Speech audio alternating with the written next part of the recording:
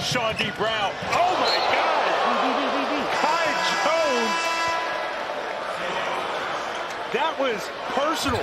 I'm not sure what happened in the last life, a prior life, but Kai Jones definitely remembered that. Oh my God.